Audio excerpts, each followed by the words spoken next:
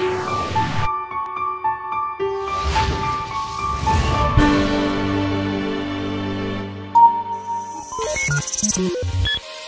name is Johnson. I've got 78 marks and 85 marks in F2 Management and F3 Financial Accounting studying with APC. The course is very practical and exam focused and uses smart ways to tackle past questions and I benefit from them a lot. I will study with APC in the future. Hi, I'm Danish. I am a financial accountant in the real life and I get really stuck in management accounting, particularly for variance analysis.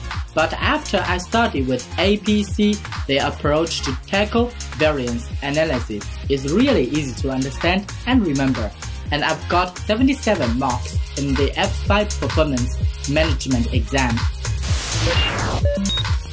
I'm Arjun. I really have to thank Steve for providing such useful P7 lectures. The contents are highly integrated with real life audit examples and exam questions. More importantly, Steve has his own exam analysis and they are easy to follow.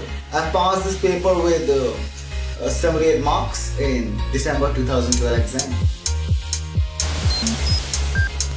This is Diana. My profound thank you to Mr. Harris. I purchased his excellent and good value for money ACCA P4 Advanced Financial Management, and I am delighted to announce that I have passed. I am now fully qualified.